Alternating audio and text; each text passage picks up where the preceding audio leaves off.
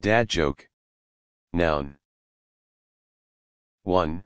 Slang, a lame, embarrassing or unfunny joke.